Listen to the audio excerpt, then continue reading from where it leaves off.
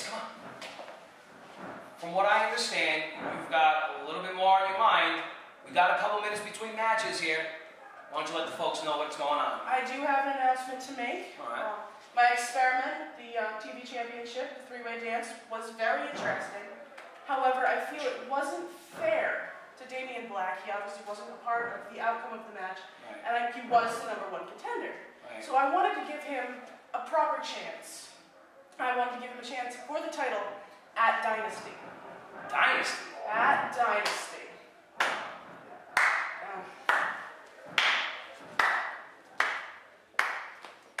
First of all, let me say thank you. you're welcome. However, after three years of being in this company, it's a little bit too late. I'm all about fairness. I've been screwed every single time. Your little Christmas gift to AJ Punk after I won the junior heavyweight championship? Hitting me within 15 seconds? And then you want to give the contract to TJ Swift? And more chances with Swift? It is what it is, and now you have your chance. I'm gonna win. And I'm gonna knock his teeth out. Well are trying to make up for lost time? Maybe it's a day late and a dollar short, but hey, Damian Black's got himself a title match at RWA Dynasty, and that's nothing to fret about. Ladies and gentlemen, this following contest is scheduled for one fall and has a 15-minute time limit. Introducing first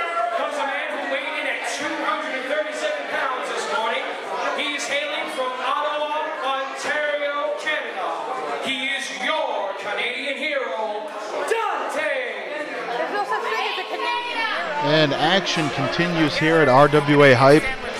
We're about to be joined by not just your Canadian hero, but my Canadian hero. And of course, I'm being completely sarcastic when I say that. And he's claiming he's a true Canadian legend when I'm not even sure if you can find Canada on a map, ladies and gentlemen. But nonetheless, we have singles competition here. Dante will be facing none other than T Phoenix. You can see this crowd here at ringside showing absolutely no love for Dante.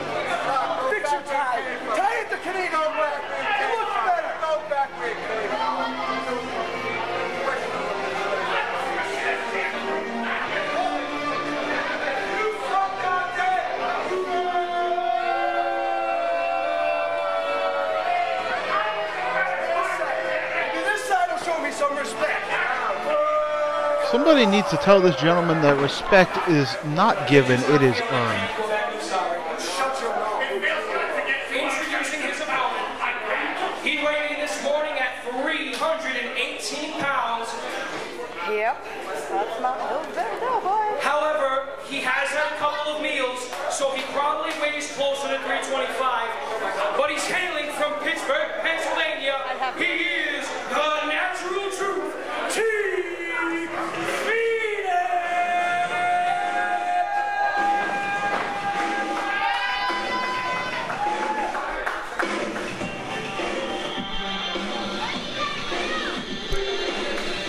Welcome back, Bobby Rossi. He whispered you a little sweet nothing right there, didn't he? Uh, I call it a, a, sweet something. He's talking about Mr. Phoenix's eating habits.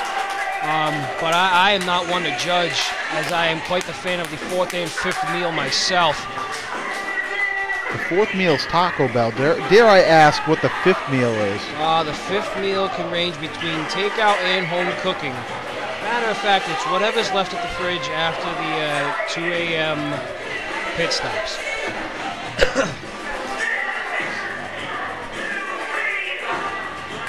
Well, coming up next, we have our main event scheduled to be Chris Cruz taking on Jason Devine. And uh, Phoenix taking his time around ringside. He's even going to stop to pet the doggy.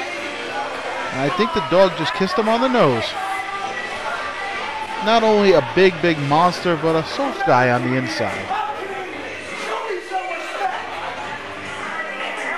Who are you? What are you doing in this ring? T Phoenix not having or buying any bit of the BS coming from Dante, as he's been known to be a balloon full of hot air from time to time, shielding Princess from his uh, abrasive nature. I, I think he was shielding Princess from hurting Dante. She's not one to be messed with. This is true. Neither have I.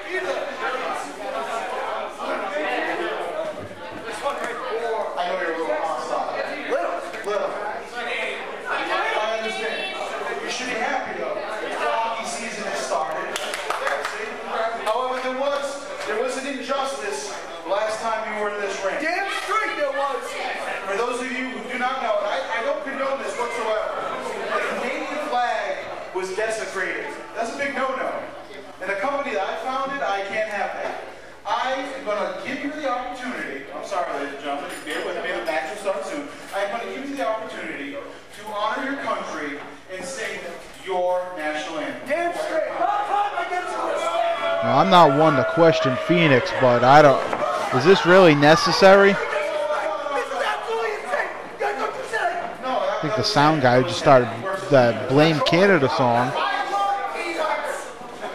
You ain't fucking kidding me. Is this really happening? On your feet, everybody, sing this great national. And the crowd goes mild.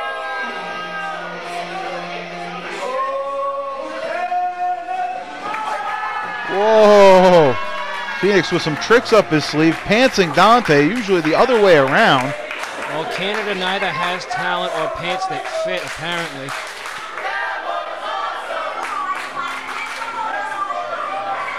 Phoenix getting a quick laugh here before this one can officially get underway.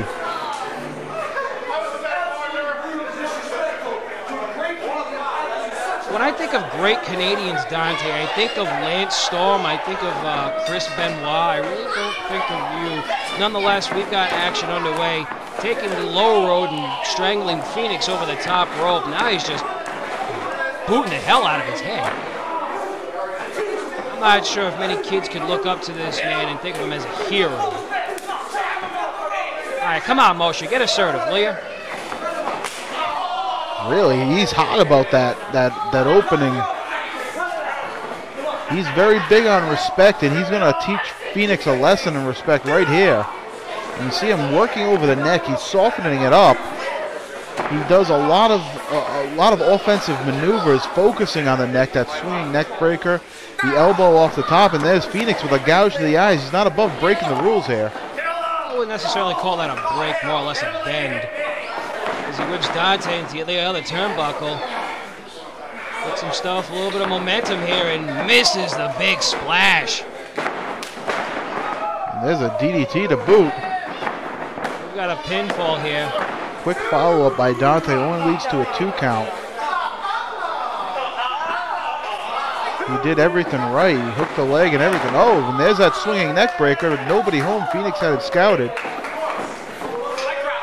The ropes comes the big man, driving down with a large elbow, a pinfall of his own. And Dante's got his foot on the rope, thus breaking up that count. I think Phoenix is surprised by it. Look, look at the look on his face.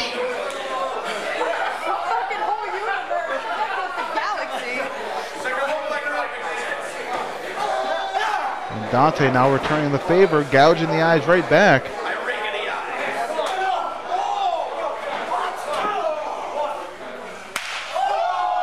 Commend Dante for standing toe to toe with, you know, the beast that is known as Phoenix, but I would try chopping this man down from the legs. That'd be my that'd be my bet. Phoenix isn't just going to take it. He's firing back with those back elbows. Still not able to knock the big man down. He's got him reeling. Dante's unloading while giving him a piece of his mind, and there he goes for that swinging neck breaker. He connects this time and gets all of it. Pinfall. And just another two count. Gonna take a bit more than that to keep the big man down, Dante. And several well-placed kicks around the body. Now just leaning all his weight across the back of Phoenix with his shin. Fist drop to the back of the head by Dante. And Phoenix continuing to fight back as you see there. Dante left him too long of an opportunity, too much of a window. And out of the ring he goes. Check my neck.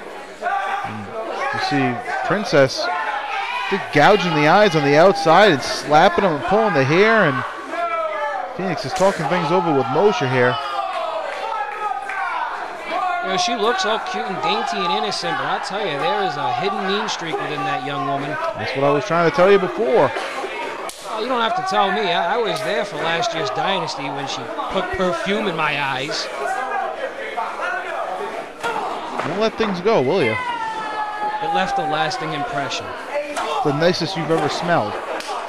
It left a lasting impression. Those were these shots to the stomach, both men taking it out on one another's midsection.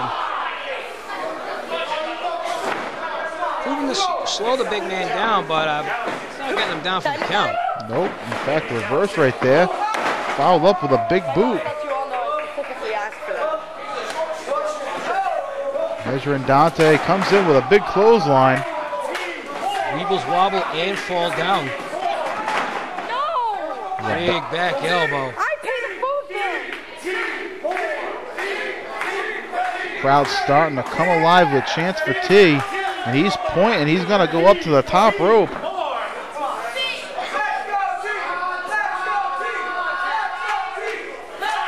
I don't think this is a wise move on his behalf. Gonna fly. Nobody home. Dante rolled through. And I have to say, thank goodness for him. Looking at that Pancake City. Got him hooked for that old school plex. Phoenix pushes him away. Super kick finds the mark. Dante's down.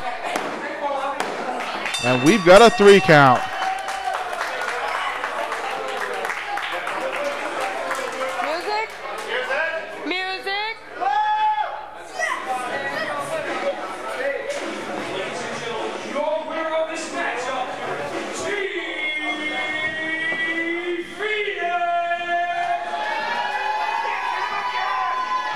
Phoenix coming out with the victory in this singles contest over a longtime rival in Dante. If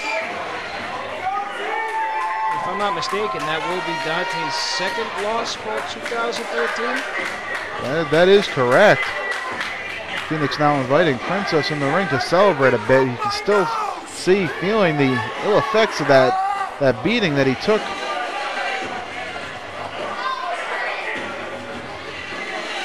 Somewhat a measure of sportsmanship as he didn't continue the bout after the bell. Good showing. Kudos to T Phoenix.